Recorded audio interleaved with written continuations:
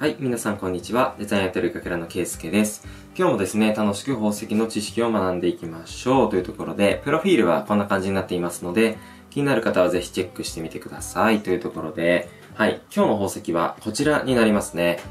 トルコ石というね、宝石にスポットを当てて話を進めていきます。はい。まあね、美しいカラーがとても人気な宝石で、昔から今まで、まあ、本当にですね、根強い人気のある宝石になります。はい。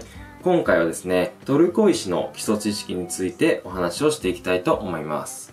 それでは早速始めていきます。トルコ石という宝石、宝石名はですね、ターコイズとなります。はい。和名でトルコ石という風に呼ばれますね。はい。まあね、トルコ石っていう名前なんだから、トルコで産出されると思いがちですが、トルコではこの宝石産出されません。はい。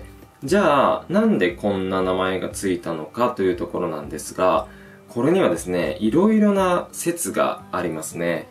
まあね、物語の中でトルコ人の、えっ、ー、と、国で取れる石などと紹介されてからその名前がついたなんていうふうに言われてたり、まあトルコ石が海外にね、こう運ばれる際にトルコが、えっと、貿易のね、こう、経由地であったため、この名前がついたという説があったり、まあ、いろんな説があるので、まあ、どれが本当の説かは本当にね、分かっていないっていうような感じになりますね。はい。イラン、アメリカ、アフガニスタン、オーストラリアなどが実際の産地となり、その中でもとても高値で取引されるのが、アメリカのアリゾナ州にある鉱山ですね。スリーピングビューティーターコイズ鉱山。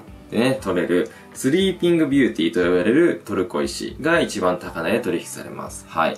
実際に今こちらにあるのが、そのね、スリーピングビューティーのトルコ石になります。はい、スリーピングビューティーですね。はい。で、カラーの濃さっていうのは、それぞれになります。ちょっとね、これ濃くて一番薄くて中間みたいな感じでしょうかね。はい。で、まあ、ちょうど中間色のようなカラーが、一番いいカラーなんていう風に言われたりしています。まあですね、カラーストーンに関しては、色の好みっていうのはまあ本当にそれぞれだと思うので、自分が好きなカラーを選べばいいかななんていうふうに思います。あまあね、まあ濃すぎるやつ、本当に濃いのが好きって方も結構います。で、いや、私はちょっと薄めの方がいいなって方も結構います。だからもう好みになってくるかななんていうふうに僕は思います。はい。で、このスリーピングビューティーの名前なんですけれども、鉱山の形が、ちょっとね、あのー、美女が寝ている姿に見えるとのことから、そのような名前がついた、なんていう風にも言われたりしています。はい。まあ、なんともロマンチックな宝石なんですね。はい。このトルコ石ですね、まあ、あのー、ターコイズなんですが、結構ですね、偽物も出回っているような宝石になります。はい。他の石をですね、トルコ石のようなカラーに染めて、トルコ石と名乗っているものもあったり、トルコ石には違いない。まあ実際にトルコ石なんですけれども、実際の色ではなく染め直しているもの、それぞれね、出回っていますが、天然で色のね、染めもしてないようなカラーのものは結構高値で取引されます。はい。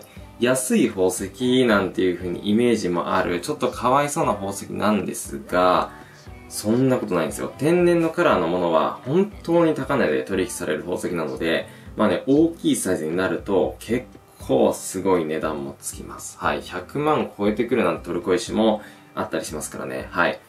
10段階で表示される宝石の硬さをね、表す数字の一つ、モースコードなんていうね、ものがあるんですけれども、10が一番高くてダイヤモンド。トルコ石はですね、5から6と少し柔らかい宝石ではあるのですが、まあ、ジュエリーなどでもよく使われるような宝石になります。まあ、あの、実際ですね、取り扱いには少々気をつける必要があるかな、なんていうふうに思います。はい。まあね、近年、さらに人気が出てきているこのトルコ石。ぜひ気になったらチェックしてみてはいかがでしょうか。さて、今回はこんな感じでしょうかね。今回はトルコ石の基礎知識をお話しさせていただきました。まあ、ここら辺のね、知識を押さえておけば結構詳しい知識ついていますので、ぜひ知らない人に教えてあげてくれればいいな、なんていうふうに思います。はい。今回はトルコ石の知識についてお話しさせていただきました。